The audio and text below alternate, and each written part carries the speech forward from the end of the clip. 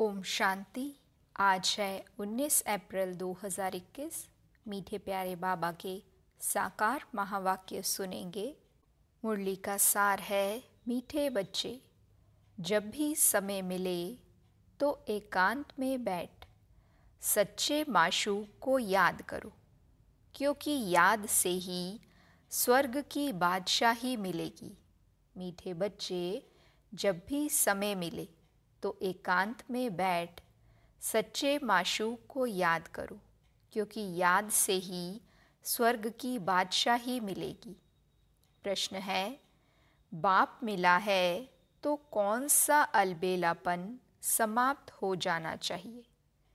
उत्तर, कई बच्चे अलबेले हो कहते हैं, हम तो बाबा के हैं ही। याद की मेहनत नहीं करते। घड़ी घड़ी याद भूल जाती है। यही है अलबेलापन। बाबा कहते, बच्चे, अगर याद में रहो तो अंदर स्थायी खुशी रहेगी। किसी भी प्रकार का गुटका नहीं आएगा। जैसे बांधेलियाँ याद में तड़फती हैं दिन रात याद करती हैं, ऐसे तुम्हें भी निरंतर याद रहनी चाहिए। गीत है तकदीर जगा कर आई हूँ। ओम शांति, बाप ने बच्चों को समझाया है, तुम भी कहते हो ओम शांति। बाप भी कहते हैं ओम शांति, अर्थात तुम आत्माएँ शांत स्वरूप हो। बाप भी शांत स्वरूप है, आत्मा का स्वधर्म शांत है, परमात्मा का भी स्वधर्म शांत है। तुम भी शांति धाम में रहने वाले हो। बाप भी कहते हैं, मैं भी वहाँ का रहने वाला हूँ। तुम बच्चे पुनर्जन्म में आते हो, मैं नहीं आता। मैं इस रथ में प्रवेश करता हूँ। यह मेरा रथ है। शंकर से अगर पूछेंगे, पूछ तो नहीं सकते। परंतु समझो, सूक्ष्म वतन में जाकर कोई पूछे तो कहेंगे, यह सूक्ष्म शरीर हमारा है। शिव बाबा कहते हैं यह हमारा शरीर नहीं है। यह हमने उधार लिया है, क्योंकि मुझे भी कर्मेंद्रियों का आधार चाहिए। पहली पहली मुख्य बात समझानी है कि पतित पावन, ज्ञान का सागर श्री कृष्ण नहीं है। श्री कृष्ण सर्व आत्माओं को पतित से पावन नहीं बनाते हैं। वो तो आकर पावन दुनिया में राज्य करते हैं।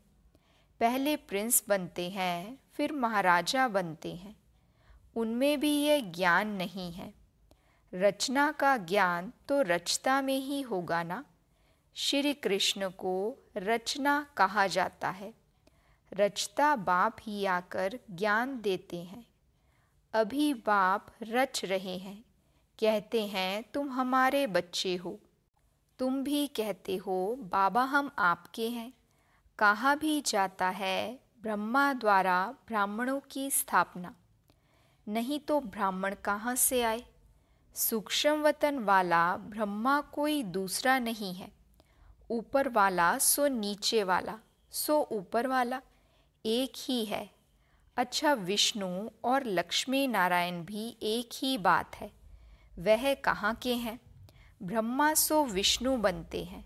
ब्रह्मा सरस्वती ही, सो लक्ष्मी नारायण, फिर वही सारा कल्प चौरासी जन्मों के बाद आकर संगम पर ब्रह्मा सरस्वती बनते हैं। लक्ष्मी नारायण भी मनुष्य हैं। उनका देवी देवता धर्म है। विष्णु को भी चार भुजाएँ दी हैं। यह प्रवृत्ति मार्ग दिखाया है। भारत में शुरू से ही प्रवृत्ति मार्ग चला आता है। इसलिए विष्णु को चार भुजाएँ दी हैं। यहाँ है ब्रह्मा सरस्वती। वह सरस्वती एडॉप्टेड बच्ची है। इनका असुल नाम लखीराज था। फिर इनका नाम रखा ब्रह्मा। शिबामा ने इसमें प्रवेश किया और राधे को अपना बनाया। नाम रखा सरस्वती। सरस्वती का ब्रह्मा कोई लौकिक बाप नहीं ठहरा। इन दोनों के लौकिक बाप अपने अपने थे। अभी वह नहीं है। यह शिव बाबा ने ब्रह्मा द्वारा एडॉप्ट किया है। तुम हो एडॉप्टेड चिल्ड्रन ब्रह्मा भी शिव बाबा का बच्चा है।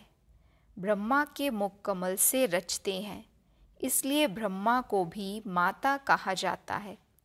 तुम मात पिता हम बालक तेरे। तुम्हारी कृपा से सुख घनेरे। गाते हैं ना, तुम ब्राह्मण आकर बालक बने हो। इसमें समझने की बुद्धि बड़ी अच्छी चाहिए। तुम बच्चे शिव बाबा से वर्षा लेते हो। ब्रह्मा कोई स्वर्ग का रचयिता व ज्ञान सागर नहीं है। ज्ञान का सागर एक ही बाप है। आत्मा का बाप ही ज्ञान का सागर है। आत्मा भी ज्ञान सागर बनती है, परंतु इनको ज्ञान सागर नहीं कहेंगे, क्योंकि सागर एक ही है। तुम सब नदियाँ हो। सागर को अपना शरीर नहीं है, नदियों को है। तुम हो ज्ञान नदियाँ। कलकत्ता में ब्रह्मपुत्रा नदी बहुत बड़ी है, क्योंकि उनका सागर से कनेक्शन है। उनका मेला बहुत बड़ा लगता है, यहाँ भी मेला लगता है। सागर और ब्रह्मपुत्रा दोनों कंबाइंड है। यह है चैतन्य, वह है जड़। यह बातें बाप समझाते हैं, शास्त्रों में नहीं है। शास्त्र हैं भक्ति मार्ग की डिपार्टमेंट यह है ज्ञान मार्ग, वह है भक्ति मार्ग। आधा कल भक्ति मार्ग की डिपार्टमेंट चली है। उसमें ज्ञान सागर है नहीं। परमपिता परमात्मा ज्ञान का सागर। बाप संगम पर आकर ज्ञान स्नान से सबकी सदगति करते हैं। तुम जानते हो कि हम बेहद के बाप से, स्वर्ग के सुखों की तकदीर बना रहे हैं। बरोबर हम सत्युग त्रेता में पूज्य देवी देवता थे। अभी हम पुजारी मनुष्य हैं। फिर मनुष्य से तुम देवता बनते हो। ब्राह्मण सो देवता धर्म में आए, फिर क्षत्रिय, वैश्य, शूद्र बने। चौरासी जन्म लेते लेते नीचे उतरना पड़ा है। यह भी तुमको बाप ने बताया है। तुम अपने जन्मों को नहीं जानते थे। चौरासी जन्म भी तुम ही लेते हो। जो पहले पहले आते हैं, वही पूरे चौरासी जन्म लेते हैं। योग से ही खाद निकलती है। योग में ही मेहनत है। भल कई बच्चे ज्ञान में तीखे हैं, परंतु योग में कच्चे हैं। बांधेलियाँ योग में, छुटेलियाँ से भी अच्छी हैं। वह तो शिव बाबा से मिलने के लिए रात दिन तड़फती हैं। तुम मिले हो, तुमको कहा जाता है, याद करो तो तुम घड़ी घड़ी भूल जाते हो। तुमको तूफ़ान बहुत आते हैं, वह याद में तड़फती हैं। तुम तड़फते नहीं हो, उन्हों का घर बैठे भी ऊंच पद हो जाता है। तुम बच्चे जानते हो, बाबा की याद में रहने से हमको स्वर्ग की बादशाही मिलेगी। जैसे बच्चा गर्भ से निकालने के लिए तड़फता है, वैसे बांदेलियाँ तड़फते तड़फते पुकारती हैं। शिव बाबा, इस बंधन से निकालो। दिन रात याद करती हैं। तुमको बाप मिला है तो तुम अलबेले बन पड़े हो। हम बाबा के बच्चे हैं। हम यह शरीर छोड़ जाए, प्रिंस बनेंगे। यह अंदर स्थायी खुशी रहनी चाहिए। परंतु माया याद रखने नहीं देती। याद से खुशी में बहुत रहेंगे। याद नहीं करेंगे तो गुटका खाते रहेंगे। आधा कल्प तुमने रावण राज्य में दुख देखा है। अकाले मृत्यु होता आया है। दुख तो है ही। भल कितना भी साहूकार हो, दुख तो होता ही है। अकाले मृत्यु हो जाती है। सतयुग में ऐसे अकाले नहीं मरते। कभी बीमार नहीं होंगे। समय पर बैठे बैठे आपे ही एक शरीर छोड़ दूसरा ले लेते हैं। उसका नाम ही है सुखधाम। मनुष्य तो स्वर्ग की बातों को कल्पना समझते हैं। कहेंगे, स्वर्ग कहाँ से आया? तुम जानते हो, हम तो स्वर्ग में रहने वाले हैं, फिर चौरासी जन्म लेते हैं। यह सारा खेल भारत पर ही बना हुआ है। तुम जानते हो, हम 21 जन्म पावन देवता थे फिर हम क्षत्रिय, वैश्य, शूद्र बने। अब फिर ब्राह्मण बने हैं। यह स्वदर्शन चक्र बहुत सहज है। यह शिव बाबा बैठ समझाते हैं। तुम जानते हो, शिव बाबा ब्रह्मा के रथ में आया है। जो ब्रह्मा है, वही सतयुग आदि में श्री कृष्ण था। चौरासी जन्म ले पतित बने हैं। फिर इनमें बाप ने प्रवेश कर एडॉप्ट किया है। खुद कहते हैं, मैंने इस तन का आधार ले तुमको अपना बनाया है। फिर तुमको स्वर्ग की राजधानी का लायक बनाता हूँ। जो लायक बनेंगे वही राजाई में आएँगे। इसमें मैनर्स अच्छे चाहिए, मुख्य है ही पवित्रता। इस पर अबलाओं पर अत्याचार होते हैं। कहाँ कहाँ पुरुषों पर भी अत्याचार होते हैं। विकार के लिए एक दो को तंग करते हैं। यहाँ माताएँ बहुत होने के कारण शक्ति सेना नाम गाया हुआ है। वंदे मातरम। अभी तुम ज्ञान चिता पर बैठे हो काम चिता से उतर गोरे बनने के लिए। द्वापर से लेकर कामचिता पर बैठे हो। एक दो को विकार देने का हथियाला विकारी ब्राह्मण बांधते हैं। तुम हो निर्विकारी ब्राह्मण। तुम वह कैंसिल कराए ज्ञानचिता पर बिठाते हो। कामचिता से काले बने हैं, ज्ञानचिता से गोरे बन जाएँगे। बाप कहते हैं, भल इकट्ठे रहो, परंतु प्रतिज्ञा करनी है, हम विकार में नहीं जाएँगे। इसलिए बाबा अंगूठी भी पहनाते हैं। शिव बाबा बाबा भी है, साजन भी है। सभी सीताओं का राम है, वही पतित पावन है। बाकी रघुपति राघव, राजा राम की बात नहीं है। उसने संगम पर ही यह प्रालब्ध पाई थी। उनको हिंसक बाण दिखाना रोंग है। चित्र में भी नहीं देना चाहिए। सिर्फ़ लिखना है चंद्रवंशी। बच्चों को समझाना चाहिए, शिव बाबा, इस द्वारा हमको यह चक्र का राज समझा रहे हैं।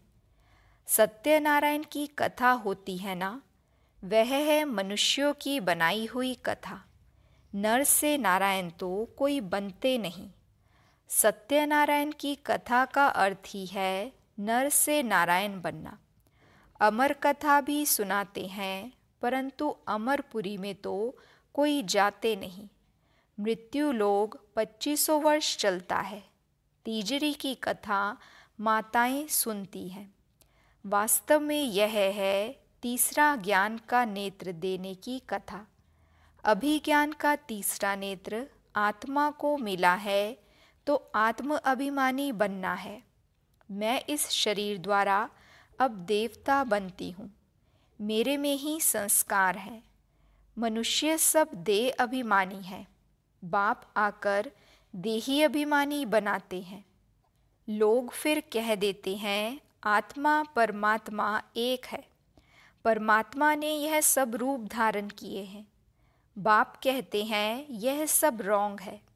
इसको मिथ्या अभिमान, मिथ्या ज्ञान कहा जाता है। बाप बतलाते हैं, मैं बिंदी मिसल हूँ। तुम भी नहीं जानते थे, यह भी नहीं जानते थे। अभी बाप समझाते हैं, इसमें संशय नहीं आना चाहिए, निश्चय होना चाहिए। बाबा ज़रूर सत्य ही बोलते हैं, संशय बुद्धि विनश्यंती। यह पूरा वर्षा नहीं ले पाएँगे। आत्म अभिमानी बनने में ही मेहनत है। खाना पकाते बुद्धि बाप की तरफ़ लगी रहे। हर बात में यह प्रैक्टिस करनी चाहिए। रोटी बेलते अपने माशूक को याद करते रहना। यह अभ्यास हर बात में चाहिए। जितना समय फुर्सत मिले, याद करना है। याद से ही तुम सतो प्रधान बनेंगे। आठ घंटा कर्म के लिए छुट्टी है। बीच में भी एकांत में जाकर बैठना चाहिए। तुम्हें सबको बाप का परिचय भी सुनाना है। आज नहीं सुनेंगे तो कल सुनेंगे। बाप स्वर्ग स्थापन करते हैं। हम स्वर्ग में थे, अभी फिर नरकवासी हुए हैं। अब फिर बाप से वर्षा मिलना चाहिए। भारतवासियों को ही समझाते हैं। बाप आते भी भारत में ही हैं। देखो तुम्हारे पास मुसलमान लोग भी आते हैं। वो भी सेंटर संभालते हैं। कहते हैं शिव बाबा को याद करो। सिख भी आते हैं क्रिश्चियंस भी आते हैं। आगे चलकर बहुत आएँगे। यह ज्ञान सबके लिए है क्योंकि यह है, है ही सहज याद और सहज वर्षा बाप का। परंतु पवित्र तो ज़रूर बनना पड़ेगा। दे दान तो छूटे ग्रहण। अभी भारत पर राहु का ग्रहण है। फिर बृहस्पति की दशा शुरू होगी 21 जन्मों के लिए। पहले होती है बृहस्पति की दशा, फिर शुक्र की दशा। सूर्यवंशियों पर बृहस्पति की दशा, चंद्रवंशियों पर शुक्र की दशा कहेंगे। फिर दशा कमती होती जाती है। सबसे खराब है राहु की दशा। बृहस्पति कोई गुरु नहीं होता है। यह दशा है वृक्षपति की। वृक्षपति बाप आते हैं तो बृहस्पति और शुक्र की दशा होती है। रावण आते हैं तो राहु की दशा हो जाती है। तुम बच्चों पर अभी बृहस्पति की दशा बैठी है। सिर्फ़ वृक्षपति को याद करो और पवित्र बनो। बस। अच्छा मीठे मीठे सिकिलदे बच्चों प्रति मात पिता बाप दादा का याद प्यार और गुड मॉर्निंग। रूहानी बाप की, रूहानी बच्चों को नमस्ते। हम रूहानी बच्चों की, रूहानी बाप दादा को दिल व जान सिकवा प्रेम से नमस्ते नमस्ते नमस्ते जी। गुड मॉर्निंग बाबा शुक्रिया बाबा शुक्रिया वहाँ मेरा भाग्य, वहाँ मेरे भाग्य विधाता बाबा धारणा के लिए मुख्य सार है पहली पॉइंट हर कार्य करते हुए, आत्म अभिमानी बनने की प्रैक्टिस करनी है। देह का अहंकार समाप्त हो जाए। इसके लिए ही मेहनत करनी है। दूसरी पॉइंट सत्युगी राजाई के लायक बनने के लिए अपने मैनर्स रॉयल बनाने हैं। पवित्रता ही सबसे ऊँची चलन है। पवित्र बनने से ही पवित्र दुनिया के मालिक बनेंगे। वरदान है भोलेपन के साथ। ऑल माइटी अथॉरिटी बन। माया का सामना करने वाले शक्ति स्वरूप भव, भोलेपन के साथ ऑल माइटी अथॉरिटी बन। माया का सामना करने वाले शक्ति स्वरूप भव। बाबा समझाते कभी कभी भोलापन बहुत भारी नुकसान कर देता है। सरलता भोला रूप धारण कर लेती है। लेकिन ऐसा भोला नहीं बनो जो सामना नहीं कर सको। सरलता के साथ समाने और सहन करने की शक्ति चाहिए। जैसे बाप भोलानाथ के साथ ऑल माइटी अथॉरिटी है। ऐसे आप भी भोलेपन के साथ साथ शक्ति स्वरूप भी बनो तो माया का गोला नहीं लगेगा। माया सामना करने के बजाय नमस्कार कर लेगी। स्लोगन है, अपने दिल में याद का झंडा लहराओ तो प्रत्यक्षता का झंडा लहरा जाएगा। अपने दिल में याद का झंडा लहराओ तो प्रत्यक्षता का झंडा लहरा जाएगा। अच्छा ओम शांति।